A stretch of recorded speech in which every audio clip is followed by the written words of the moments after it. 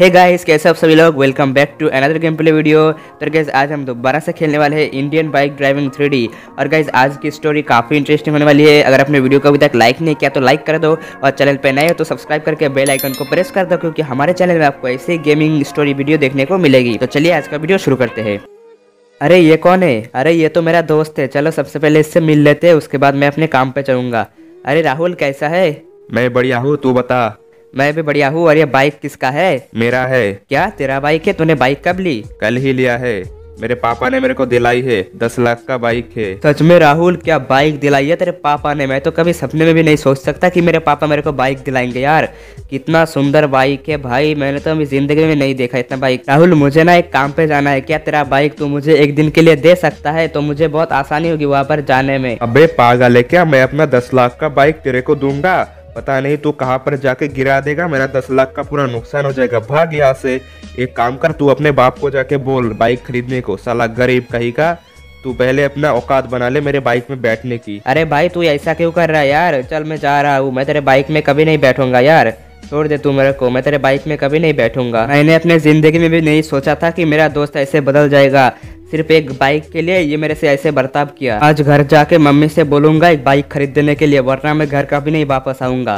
फटाफट से जाता हूँ देखता हूँ मम्मी घर पे है कि नहीं। उसके बाद मम्मी से कहूँगा कि एक बाइक दिला दो या फिर मैं कभी अपने घर नहीं आने वाला। तुम कुछ भी कर लो। Mummy mummy. क्या हुआ बेटा? ऐसे चिल्ला क्यों रहा है? मम्मी मुझे बाइक चाहिए। क्या बाइक अब मैं तेरे को बाइक कहाँ से दूँ?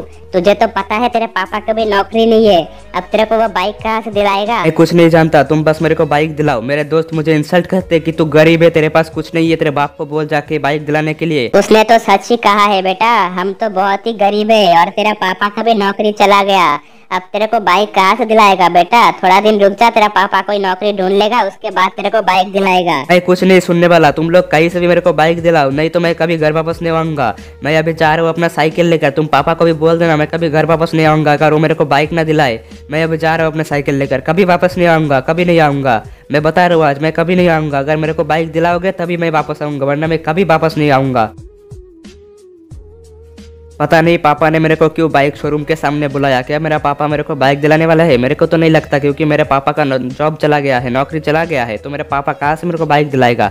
पता नहीं मेरे को क्यों बुलाया है। अगर मेरे को बाइक नहीं दिलाया तो मैं दोबारा से आ जाऊँगा, मैं घर वापस नहीं आऊँगा। चलो, जल्दी से चल के देखते पापा ने मेरे को क्यों बुलाया। अरे पापा, आपने मेरे को यहाँ पर क्यों बुलाया? बेटा, देख, मैंने तेरे लिए बाइक खरीदी है। अरे पापा, क्या आप मज़ाक कर रहे हो मेरे साथ? आप कहाँ से बाइक खरीदोगे? आपका तो जॉब भी नहीं है, नौकरी भी नहीं है। अरे बेटा, मज़ाक नहीं कर रहा हूँ, ये ले चाबी।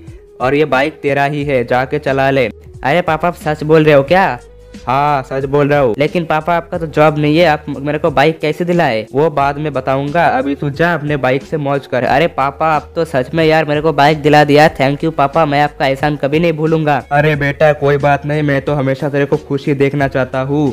अब जा तू अपने बाइक लेके मौज कर। तुझे जहाँ जहाँ जाना है अपने बाइक लेके वहाँ वहाँ जा। अरे टप्पू के पापा तुम्हारे पास तो पैसा नहीं था फिर भी तुमने उसको बाइक कैसे दिया? वो मैंने अपना दोस्त से उधार लेके उसको बाइक दिलाया लेकिन ये बात टप्पू को बताना मत ठीक है? अच्छा ठीक है नहीं बताऊँगी। आप अपना ख्याल रखना। पापा ने नया नया बाइक दिलाया। आज तो पूरा सिटी घूमूँगा बहुत मौज करूँगा। किसी ने सोचा भी नहीं होगा मैं इतना मौज करूँगा इतना मौज करूँगा। किसी ने सोची भी ना होगी और मैं अपने सारे दोस्तों को दिखाऊँगा। देख भाई भाई मेरे पापा ने मेरे को बाइक दिलाई है। इतना मौज करूँगा ना किसी ने सोची भी नहीं होगी। चलो पहले तो चलते अपने सड़क से और देखते अपना जो दोस्त है मतलब यार है वो कहाँ पर है। सबको आज दिखाऊँगा कि मैंने बाइक खरीदी है। चलो आज उड़ा दूँगा मेरे बाइक को। सामने कोई भी आएगा अरे अरे बचाओ बचाओ आ... अरे क्या हुआ क्या हुआ क्या हुआ मेरा बेटा को? मेरा बेटा ठीक तो है ना डॉक्टर? कैसा है मेरा बेटा? मम्मी मम्मी बहुत दर्द हो रहा है मम्मी।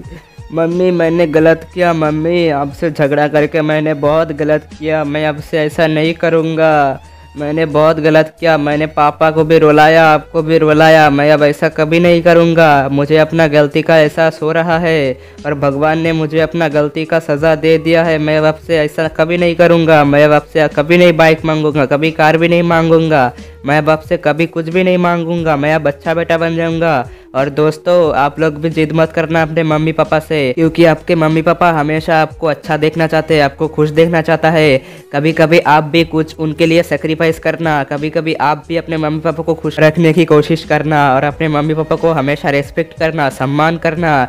क्योंकि एक वही है जो आपको इस दुनिया की हर खुशी दे सकती है। इसलिए हमेशा अपनी मम्मी पापा को रिस्पेक्ट करना। मैंने भी अपनी मम्मी पापा की बात नहीं मानी, इसलिए आज मैं यहाँ पर हूँ। कल अगर मैं अपनी मम्मी पापा की बात मान लेता तो आज मैं यहाँ पर नहीं होता। इसलिए गाइज़ मैं आपको बोल रहा हूँ, हाथ जोड़ के कह रहा हूँ कि अपनी मम्मी पापा की बात हमेशा सुनिए, क्योंकि वो आपको हर चीज़ देने की कोशिश करता है। और कभी अगर वो आपको कुछ देने में असफल रहता है तो उनकी मजबूरी को समझिए। गाइज़ आज की वीडियो में इतना ही। अगर आपको वीडियो अच्छी लगी तो वीडियो को कर देना एक लाइक चैनल को कर देना सब्सक्राइब मिलते हैं अगले वीडियो में। तब तक के लिए बाय बाय